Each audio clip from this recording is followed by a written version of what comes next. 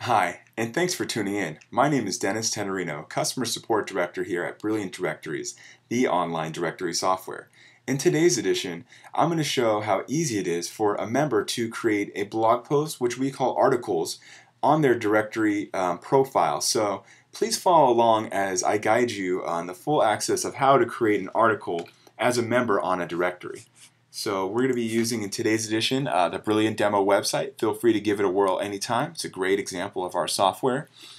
And we're going to first log in as a member using our unique login ID.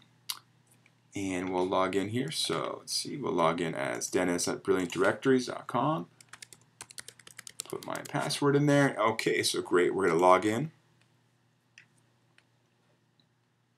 And voila, we're in the uh, member admin panel.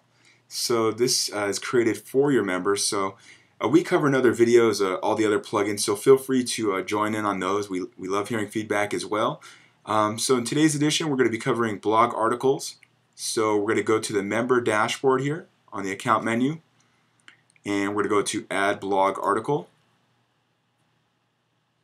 So we're going to be doing a new one today. Um, all right, so what we're going to do is new blog article.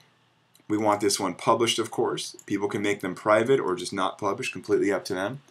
And we're going to be doing a sample article. So we're going to be doing uh, fast cars and lots of fun. And let's upload a picture. I always like doing that first so I don't forget.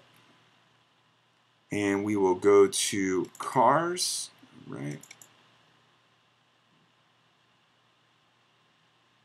Great, I have a great example of a car there. All right, nice fast car. And we will tag this article for keywords. Great, that refreshed, awesome. Okay, so I will tag this article for keywords. So cars, fast, meetup, racing, and fun. So those are some good keywords there. And if you have the article ready, feel free to copy and paste it. We'll just make a sample one right now. Uh, let's meet up for fun and showing off some fast cars. Alright, so we will save the changes. Alright, great. So that has now been saved. We can write another article. But let's actually view the article live. So we'll go to View Live Article. Awesome. So you can see it on uh, this page here, how it's been set up. People can leave a comment if you enable comments. Let's actually go to his page, View Profile.